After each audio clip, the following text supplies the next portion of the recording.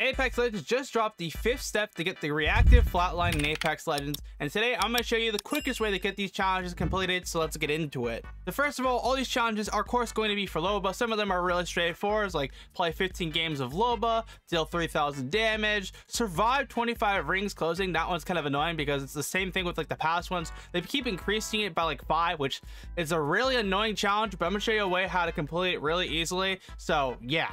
And our fourth challenge is to actually have the black market open and have like 20 teammates or squad mates actually loot it. So that's not really too hard. Anytime you place a low ball down, people are down bad for that loot. So you know for a fact they're going to steal it, especially if you have an Octane on your team. So that'll be easy. And the final one is loot 10 legendary items with Loba. I think they just changed the challenge for Loba last second. Okay, so I wasn't wrong. They literally changed, they just changed the Loba challenge, like the exact damage. So it was originally you're supposed to do like 3,000 damage with Loba. Okay, now I gotta do 4,000 damage. What? Yeah, I didn't know they can change it midway through, but that's that's kind of annoying, but whatever. So for legendary gear challenge, what I recommend you do is every game go somewhere with the hot drop because you have a higher chance of actually getting gold loot and legendary loot. So like the gold helmet, gold bag, this is kind of the big things you're looking for.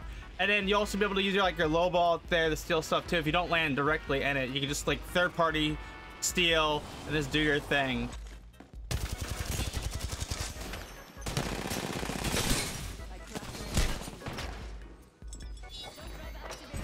I'm not gonna lie, I missed my world shot there. That should have been a nice one clip, but your boy cannot hit Jack. I was like, we're gonna have a low ball and just plunder all the stuff here. I want to third party that and like get all the kills, but doesn't particularly matter because we're trying to complete this challenge.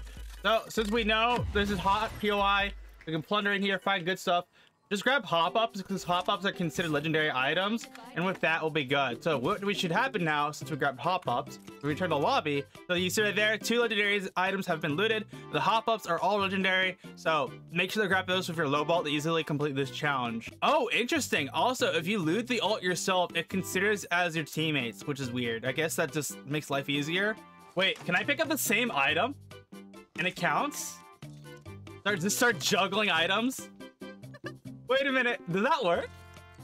I'll try it. Daily challenges at breakout. Okay, so you can't loot the same items multiple times in a row. They have to be different gold items. Can't be the same ones you've already picked up before. Okay, so for the next challenge, we are gonna survive a certain amount of rings closing, which is 25. This is probably my least favorite challenge in Apex for these like for the free reactive flatline scan, but it's absolutely painful. So the first thing you want to do is get somewhere in ring, and what you want to do is find a nice spot like this, for example, or you can pick a corner or a cubby, anything you want to do. And all you want to do for this challenge for ring closing is literally rat it on out and just not do anything. And then just go do something on your off time, whether it be do dishes, make yourself some lunch, dinner, whatever you want to do.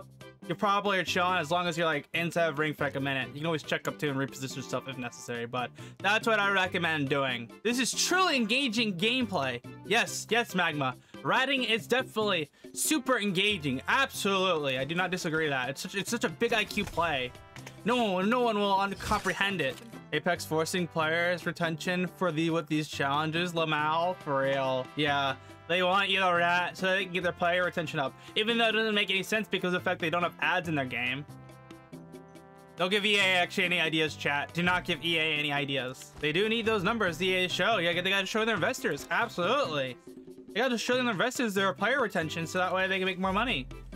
may bring us more collection events so we can spend $300 on them. Yeah, they definitely need to do that. We, we, we should let Apex like definitely take all of our time. You guys, can you guys hear the sarcasm in my voice if I'm not being blatantly obvious enough? Now, for the damage challenge, what I want you to do is play Control or TDM, and the reason why I want to play those game modes is because of the fact that, technically speaking, if you play these game modes, they actually count towards the damage for, uh, the, was it 6,000 now, instead of, like, was it 3,000 damage? Those will just make it easier for getting damage. Instead of like consistently playing Battle Royale, going into fight, maybe die, you can just play Control TDM, easily get kills, rack up a ton of damage, and complete the 6,000 damage challenge in absolutely no time.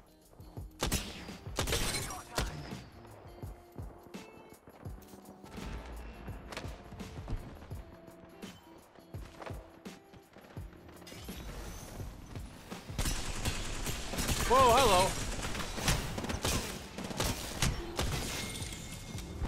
I thought that was a completely different kid.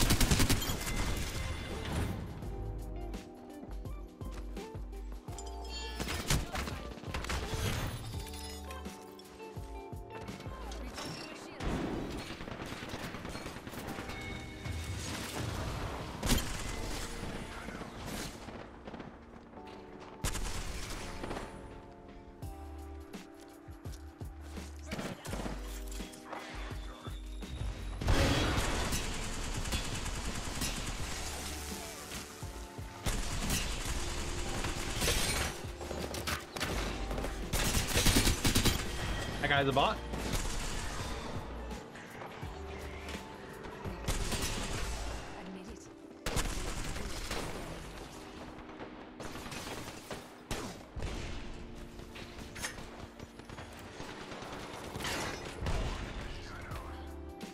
Oh, it was close. That massive lifeline was kind of scared.